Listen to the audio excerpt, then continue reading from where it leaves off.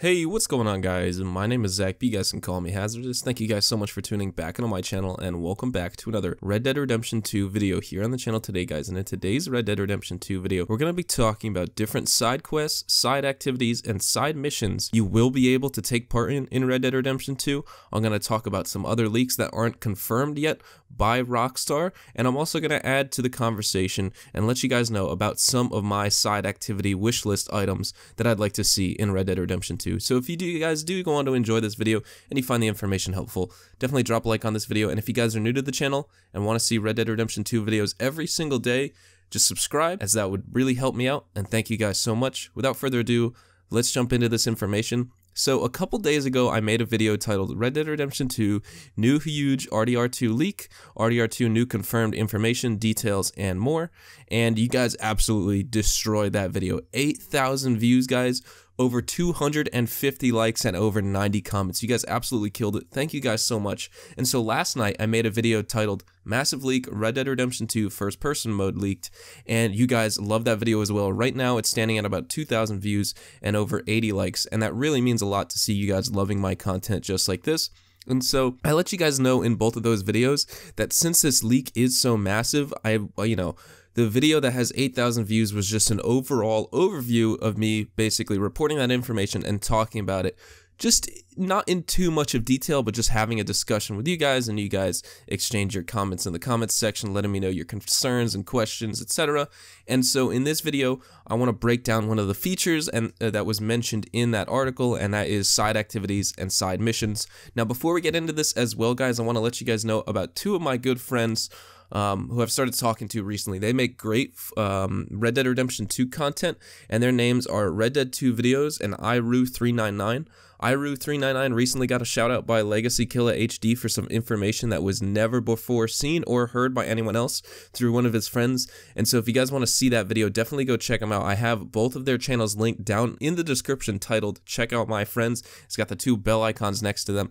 And so you guys can click on your on their channels right there. And I highly encourage you do so as they make some great Red Dead Redemption 2 content as well. But like I said, without further ado, let's jump into this and let's talk about this. So on the Trusted Reviews article, which I talked about a few days ago, um, there's a little part of the text that says, aside from the solo campaign, details of which we won't spoil, side activities will also be available. We already knew that. That wasn't necessarily new news. Rockstar Games always puts side activities in their games, but they also break down some of these and go into detail on some. And so let's review that information. They say horsemanship challenges can be completed to increase your rider rank, while dozens of different fish can be captured across the world.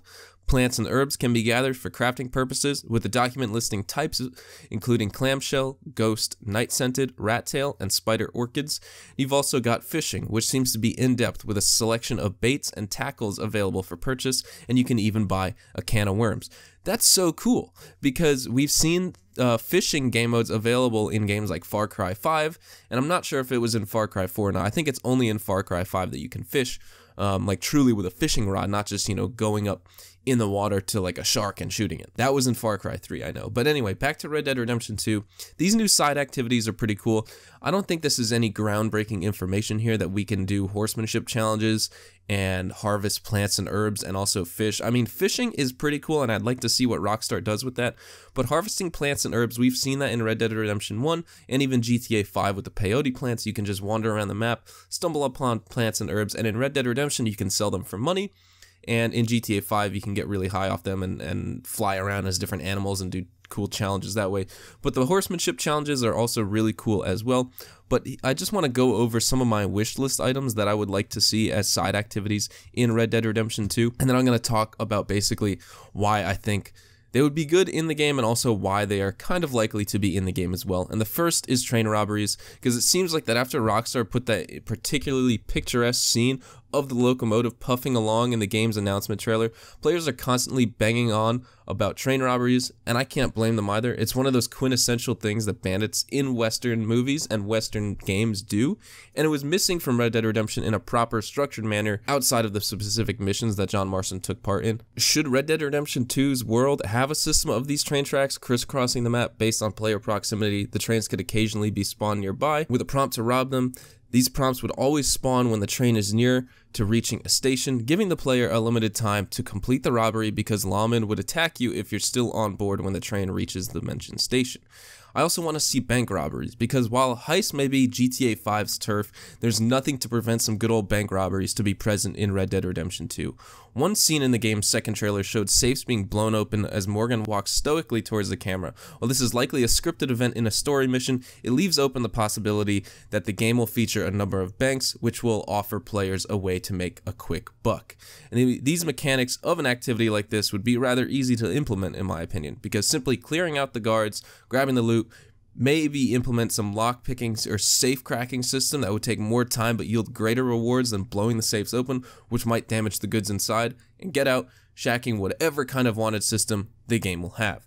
And then I also want to see um, fishing and hunting because this was mentioned in the leak and it's something I want to see as well. Because while hunting was present in Red Dead Redemption, fishing wasn't. However, both of these side activities have been present in a number of open world games in the past few years, and one recently, like I said, Far Cry 5. And the thing about these activities is that they can be quite divisive. Who would bother fishing in a Wild West bandit power fantasy like Red Dead Redemption 2? The thing is, when it comes to open world games, if the world itself is of quality, and we're speaking about a Rockstar title here, you can't really enjoy that vast world with bullets flying about constantly. Basically, every open world game out there has at least one kind of side activity, which isn't as action packed as everything else, giving players a chance to explore and enjoy the world which the developers put so much effort into building up and filling it with detail that you're bound to miss during the main missions. I also want to see brawling as a side activity. Getting into a scuffle when you're trying to have a drink isn't something that necessarily needs to be institutionalized in an open world game, but then, if given some kind of structure, visiting every saloon and beating the local champ to earn the reputation of being the top brawler in the region players will be motivated to beat in a few faces in, in an organized manner. I also want to see duels make a return. This is something we saw in Red Dead Redemption 1, and it's going to be in Red Dead Redemption 2. Even though it's not confirmed, I can pretty much guarantee you that. Duels were an integral boss fight mechanic in Red Dead Revolver and were used sparingly to a great dramatic effect in Red Dead Redemption, while also forming the conceptual basis on the Dead Eye mechanic. And similar to the Brawler concept, in each settlement there will be some kind of badass, undefeated, clearly because they're still alive, they're a badass and undefeated. But they would be a duelist who you need to out badass and leave them in a dust with a quick trigger finger. And I'd really like to see that in Red Dead Redemption 2 as well. And then lastly, the last side activity I'd like to see is the Strangers and Strangers and Freaks missions we saw in Red Dead Redemption 1 and also GTA 5 because I know that every Red Dead fan would be disappointed if these wouldn't make a return in the upcoming game. Strangers' missions were odd requests from various NPCs living across the frontier, and these tasks were varied, sometimes simple, sometimes weird, and instead of driving the main story forward, they gave the world more character, and Rockstar implemented a similar set of these missions in GTA 5 called Strangers and Freaks. Like I said, these Stranger missions also gave us the mystery of the enigmatic strange man, a dapper fellow dressed impeccably who seems to know a whole lot about John Marston. Mysteries are always the most intriguing when they are left unsolved, so I hope Red Dead Redemption 2 won't give us a straight answer to what he's on about, but a reappearance would be most welcome. Of course, for every fan, there are at least five ideas for side activities, so you're all welcome to flood the comments with your own input regarding what activities you want to spend time on and what you don't want to spend time on when you're progressing with the main plot.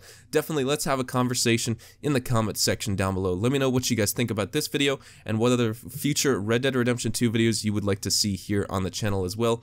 I hope you guys have a fantastic day. Like I said, if you enjoyed this video and found this information helpful, definitely drop a like on this video and also subscribe to the channel if you guys are new and you guys want to see daily Red Dead Redemption 2 content that I upload here every single day on the channel. Before I leave, I also want to leave one more thought that I'll mention in the start of my next video, guys, is I'm going to be making a Q&A for Red Dead Redemption 2. I'm getting a lot of questions in the comments sections here on my channel, and I also am getting a lot of requests from people letting me know like their thoughts and opinions on my video itself and other activities and things to do in the game that they'd like to see implemented into Red Dead Redemption 2. So I figured I'd take all your guys' comments, concerns, requests, and questions and turn it into a Q&A and we can all just talk about our wish list for Red Dead Redemption 2. I think it would be a pretty fun topic and I hope you guys join me in that. So if you guys want to let me know any of your concerns, comments, questions, or requests down in the comments section, that would be most welcome.